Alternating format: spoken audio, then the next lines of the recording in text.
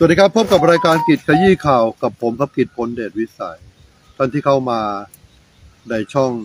กิจโพสชแนลแล้วก็กดไลค์กดแชร์กดติดตามให้ผมด้วยนะครับ แล้วก็ไปสนับสนุนช่องใหม่ของผมด้วยนะครับ ก็คือช่องปรัชญาของกิจชแนลครับ ช่วงนี้การเมืองก็สนุกมากนะครับ แล้วก็คึกคักมากเลยจริง ๆ ครับมีดารานักร้อง นักแสดงนักแสดงกับดาราเหมือนกันไหม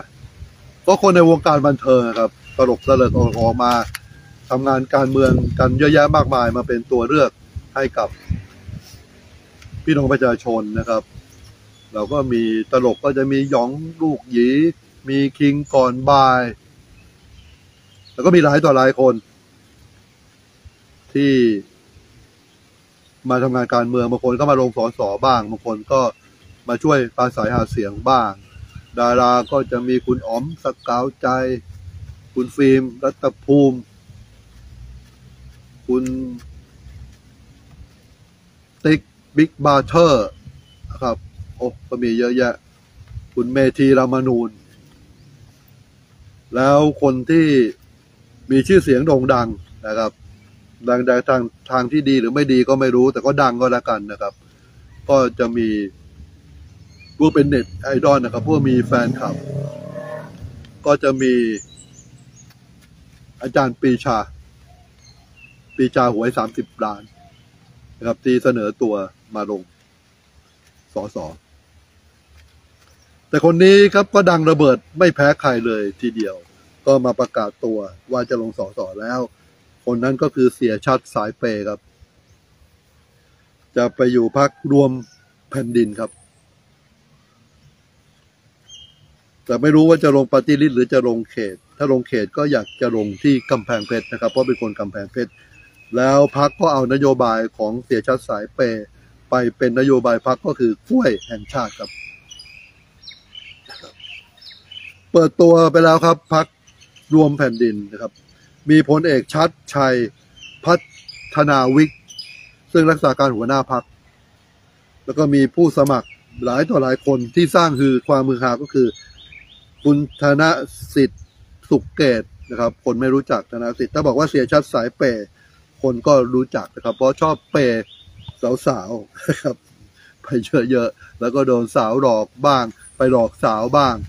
ก็ไม่รู้ใครถูกใครผิดแล้วครับ ก็ว่ากันไปเองแล้วกันเขาก็คงไม่ได้เอาปืนจ่อหัว เอาเงินไปให้นะครับ เราก็อยากจะได้เขาอยากจะเอาเขาก็ต้องเปย์เป็นเรื่องธรรมดาหรือเปล่านะครับ เราจะต้องการรักแท้ แหวนต่างนะครับ มันก็คงจะยากแต่อาจจะมีก็ได้นะ ก็ไม่ว่ากันครับคุณชาร์ตเขาก็ ขอบคุณนะครับพักรวมแผ่นดินที่ไว้วางใจให้เขาลงสมัครนะครับ แล้วเขาก็ต้องการที่จะนำนโยบายกล้วยแห่งชาติ ซึ่งเป็นความหวังของเกษตรกร ชาวกำแพงเพชร ซึ่งฉายาเป็นเมืองกล้วยไข่ แล้วก็จะขอนำกล้วยมาช่วยแผ่นดินในมิติบามาน่าอีโคโนมิกนะครับโอ้โหเขาพูดภาษาอังกฤษด้วยนะ เพื่อขับเคลื่อนเศรษฐกิจช่วยเหลือชาวบ้านและวิถีแบบไทยๆเอาพูดอย่างนี้น่าจะลงเขตกำแพงเพชรนะเพราะว่าเน้นไปที่กำแพงเพชรนะไม่ได้ลงปฏิริษแล้วก็ตกลงร่วมงานกับพรรครวมแผ่นดิน แต่ก็ยังไม่รู้ผู้บริหารจะให้ลงเขตหรือบัญชีรายชื่อ แต่แน่ๆก็นำเสนอโครงการ กล้วยเพื่อแผ่นดินไปแล้วกล้วยแห่งชาตินะครับ แล้วผู้บริหารก็มีแนวโน้มว่าจะผลักดันนโยบายนี้ ซึ่งส่วนตัวแล้วเสียชัดนี่ก็มีอยู่มีกินมีเงินไปเปย์เด็ก แล้วมีเงินที่ได้เด็ก ก็เพราะกล้วยนี่แหละครับ เพราะเขาปลูกกล้วยเขาปลูกกล้วยขายเขาเขาปลูกเขาขายหน่อนะเขาไม่ได้ขายกล้วยนะเขาขายหน่อ ก็เลยขอแรงวิงวอนพี่น้องประชาชนพื้นที่สนับสนุนในเรื่อง นี้ด้วยเพราะสนับสนุนเขาเป็นสสด้วย ที่กำแพงเพชรก็ไม่รู้เขตอะไร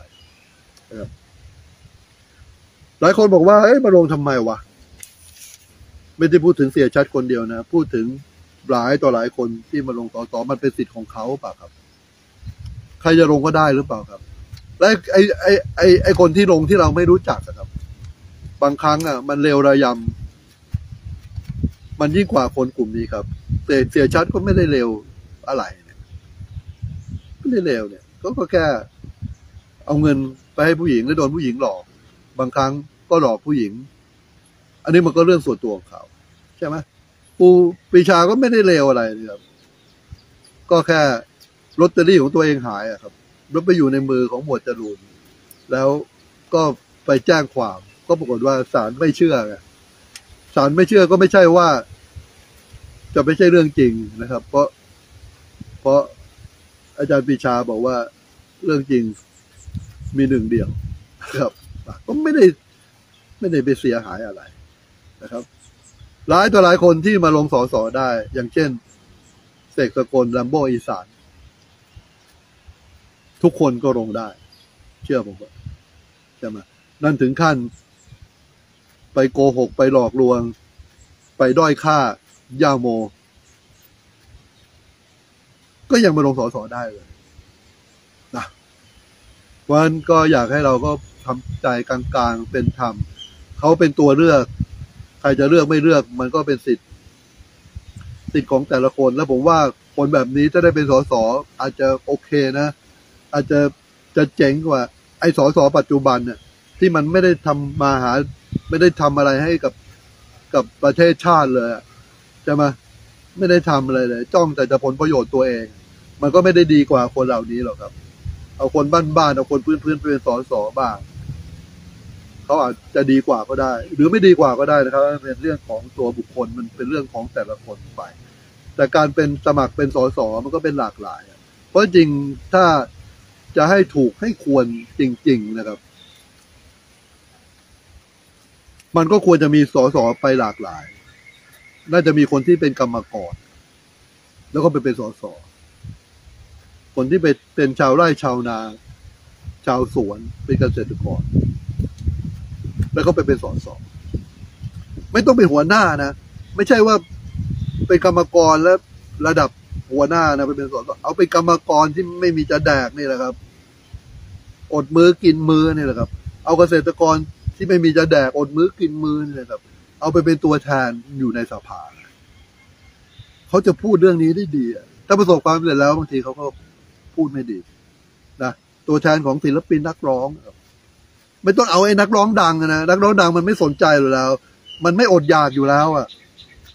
พี่แอดคาราบาวอดอยากที่ไหนอะไม่อดอยากก็ไม่รู้หรอกไอ้นักร้องกลางคืน ที่มันไม่มีเงินอะโควิด เกิดขึ้นที่มันเล่นชั่วโมงละสองร้อยอะสองร้อยแล้วเนี่ยพอเล่นเสร็จก็ต้องรีบ ไปเซเว่นอะ เพื่อไปซื้อนมให้ลูกแดกอะ เพราะว่าร้านมันปิดหมดแล้วอะ แล้วทำไมไม่ซื้อห้างอะ ถูกกว่าตอนนั้นไม่มีตังค์อะ ก็ต้องมาเล่นดนตรีก่อนแล้วรับเบี้ยเลี้ยงสองร้อยก็ไปซื้อนมให้ลูกกินแล้วเอาคนอย่างเงี้ยไปเป็นสอสอใช่ไหม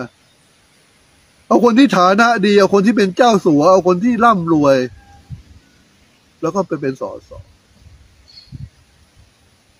ก็เอ้ยมึงรวย กูก็เลือกมึง กูไม่สนใจหรอกมึง เคยทำต้นตีนต้นมือเฮียอะไรให้กับพื้นที่ไหมไม่สนใจหรอก กูสนใจเท่านั้นคือ มึงรวย มึงรวย มึงออกไปก่อน ถ้ากระแสดี เดี๋ยวกูออกตาม ซื้อเสียงค่อยว่ากันทีหลัง ตัวนี้นี่โอ้โห เก่งมากทำงานเยอะแยะมากมายทำงานให้สังคม เป็นสิบสิบปี โอ มันไม่มีจะแดก มันไม่มีกินจะเอามันทำไมอะ เอามันมาเราต้องออกค่าป้ายค่าหาเหวอะไร โอ้ต้องซื้อเสียงให้มันเลยไม่เอาเอาไอ้นั่นดีกว่า ทั้งทงๆที่บางครั้งไอ้พวกมีต่างค์แม่งก็หลอกแดกกับพัก บางครั้งพักก็หลอกแดกไอ้พวกมีต่างค์มันก็คาเขากันไป เพราะฉะนั้น ก็ไม่รู้ก็ก็บ่นให้ฟังคนละกันนะครับก็นั่นคือเรื่องราวที่ผมผมผมจะบอกกับทุกท่านนะครับนั่นคือเรื่องราวที่เกิดขึ้นในบ้านนี้เมืองนี้ประเทศนี้นะครับ ผมก็มีหน้าที่มานำเสนอ มาสะท้อนในแง่มุมของผมนะครับ ผมมันก็มีผิดเยอะ ถูกก็มีบ้างครับ ก็ก็แล้วแต่คนฟังก็แล้วกันแล้ววันนี้ผมมีกระถางมาขายครับ กระถาง cactus ซึ่งเป็นกระถาง ของคนพิษณุโลกครับ ของคนพลายชุมพลทำเดี๋ยวจะไปเปิดบูธที่งานมหกรรมอาหาร ด้วยในบูธของกิจโพส Channel นะครับใบละร้อยเก้าสิบาทครับ เซตหนึ่งมีสามใบสี่ร้อยเก้าสิบาทค่าส่งฟรีหรือท่านจะไปดูในเพจกิจโพส Marketing ครับมีสินค้าหลากหลายเลยทีเดียวนะครับ แล้วก็ ผม จะบวงสรวงพ่อปู่ศรีสุทโธแม่ย่าศรีปทุมมาครับ ที่พิษณุโลกในวันเสาร์ที่ 29 เมษายน ก็มาร่วมพิธีกันได้ แล้วก็ร่วมสนับสนุนพิธีบวงสรวงได้สำหรับท่านที่จะสนับสนุนช่องกิจโพส Channel ก็โอนเงินเข้าบัญชีไทยพาณิชย์ครับเดี๋ยวเลขบัญชีจะขึ้นที่เจอท่านครับ วันนี้ก็มีคนโอนเข้ามาหลายคนแล้วนะครับ 20 บาท 99 บาท 200 บาทโอ้ขอบคุณเป็นอย่างสูงยิ่งเลยทีเดียวครับ วันนี้ก็ขอขอบคุณทุกท่านอีกครั้งหนึ่งนะครับ และขอให้ทุกท่านมีความสุขครับ